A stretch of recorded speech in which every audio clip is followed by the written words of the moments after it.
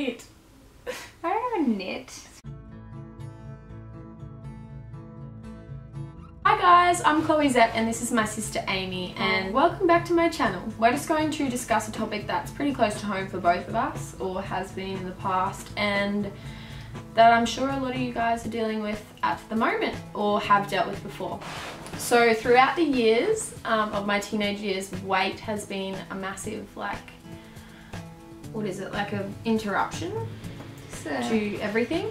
yeah, just a big issue that we've both had to go through. I went through it first, me being older, Yeah. and then Chloe experienced some of the stuff that I experienced. Yeah, so Amy went through it first. We both went through a lot of binge eating and I guess when you hit a stage when you become a teenager, you hit like I guess it's around 14, your body starts to change, you start getting more curves, Yeah. turning into more of a woman and I kind of freaked out about it. I was like, "Oh my gosh, my body's changing. I'm putting on weight.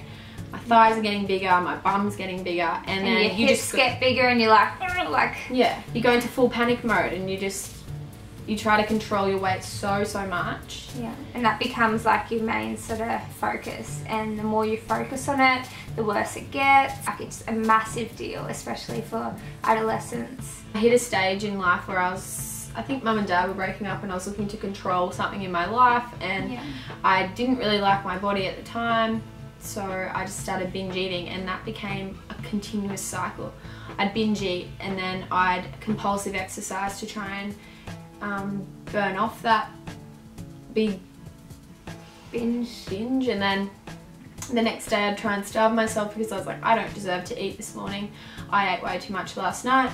And then that night again, I'd just feed myself with, And the bad part was like you'd wake up going, I'm gonna be really good today, I'm not gonna eat anything bad. And you'd go through and be like, I've been done really well, like I haven't eaten that much. And then at night time, you'd be that hungry that you just go overboard. And, you- it's just like a cycle. you can't even control it either. Like, And it just, yeah, it happens over and over until, and you can't get rid of it by exercising. it's, it's hard to or- stop. How did I stop it? No, I think it was just a stage and like, and the thing is, most girls turn to diet pills, which I know I did.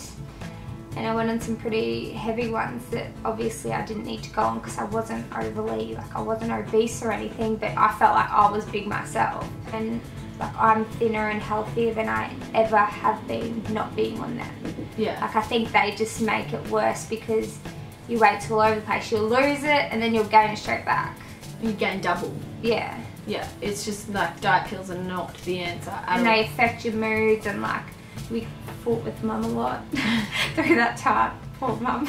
Yeah, I think every girl goes through their own experience of it. And with social media these days, you're looking Mm. at the most amazing models and Photoshop girls all the time, and you're just like, why can't I look like that? yeah, like we compare ourselves to others, especially ones that we see, you know, on magazine covers or Yeah. you know social media, and you know them people might not necessarily look as good as that in person, or you know it's a lot of airbrushing and Yeah. you know. Being bringing in of the waist. Like, yeah. But more as a long term thing, like, oh, I've got to lose weight for this event. It's like, no, you want to lose weight so you get to your ideal weight or whatever to feel good about yourself. Exactly. Like, you're not doing it for something because that never lasts. Like, you want it to sort of look of it more long term than short term. Oh yeah, I've found that I've lost a lot of weight by cutting out gluten. So I Mm. now eat gluten-free bread, and I don't usually have more than two slices a day.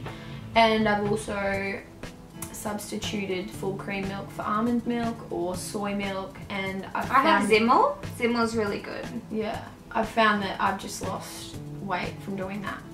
It's easy to maintain because, like, eating like bread and like processed foods like that, like, it makes you fatigued. Like, Yeah. it's not good for your body. And if you can avoid simple things like that or change it for like You can just substitute it. You don't have to. or your milk instead of having full cream milk, like have like Zymil or something. Like they have like skim or you know full cream, but it's like a better sort of substitute.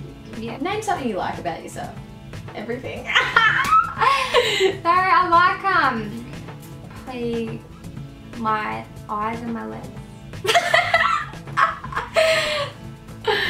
I like um, my nose. Just kidding. I like my eyes. Your hair's nice. You have nice hair. Thanks. Now, think about Thanks. something that you like about yourself.